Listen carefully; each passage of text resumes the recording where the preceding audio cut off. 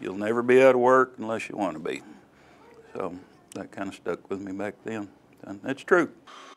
It's no secret the cost of a four year degree in college keeps going up every year, sending countless students into major debt. But there is a new push now to get more teens into vocational training instead.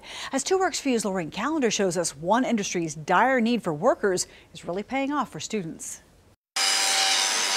The concept of welding is simple. Putting two pieces of metal together. The skill gaining popularity over the years Jeff Schuler, a 1995 alumni of Tulsa Welding School, graduated with 140 students.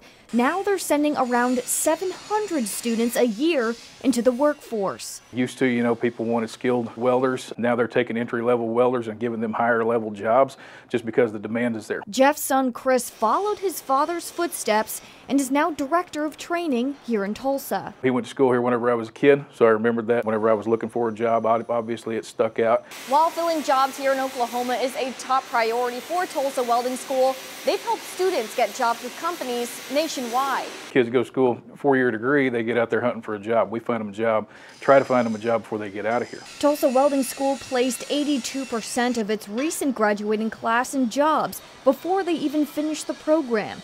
The Schulers hope their success sparks interest with high school graduates. We talked about it, and he said, "No, I don't want to go to school anymore." So we chose. I, I kind of chose welding for him, and it worked out well. So I'm proud of it.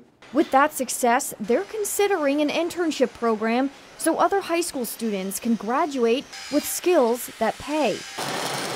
In Tulsa, Lorraine Calendar, Two Works for You.